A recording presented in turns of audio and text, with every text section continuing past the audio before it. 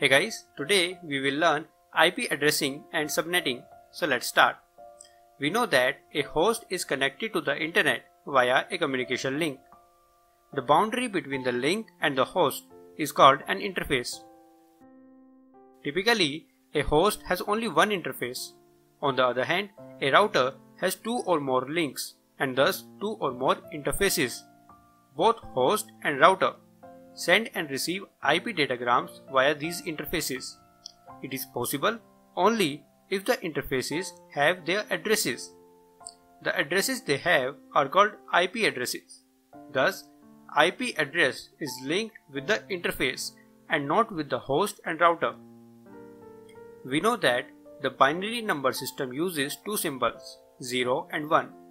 If I write a sequence of zeros and ones, for example 001, 001, 01, we say it is 8 bit in length. Similarly, IPv4 address is 32 bit in length. 8 bit represents 1 byte. Therefore, IPv4 is 32 bit or 4 bytes in length. Each byte is written in the form of decimal numbers separated with dots.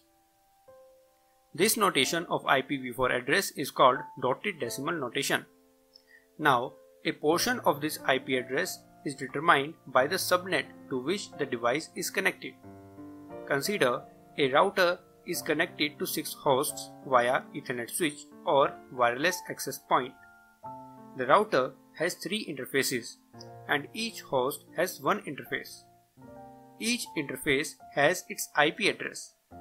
Please note that each host interface and the router interface to which hosts are connected has the same IP address format. The network connecting the host interfaces and one router interface having the same IP address format is called subnet and here it is represented as 223.1.1.0 slash 24 where slash 24 is known as subnet mask. It means that all interfaces in the subnet have same leftmost 24 bits. Similarly, two other subnets are 223.1.2.0 slash 24 and 223.1.3.0 slash 24. An organization has multiple subnets where each subnet has a different address. In the global internet, the IP addressing is handled by classless interdomain routing or CIDR address assignment strategy.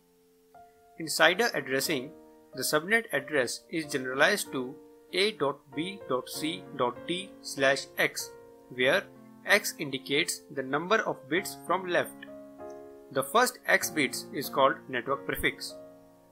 An organization is assigned a range of IP addresses with a common network prefix. Here, x is equal to 20. It means all devices within the organization's network has the same leftmost 20 bits in their IP addresses. Now, within the organization, the remaining 32 minus 20 that is 12 bits can be used for further subnetting. In this way, an organization can create multiple subnets within the allocated IP address space. Like and subscribe if you have learned something from this video. Share it so that more people can learn. Thanks for watching.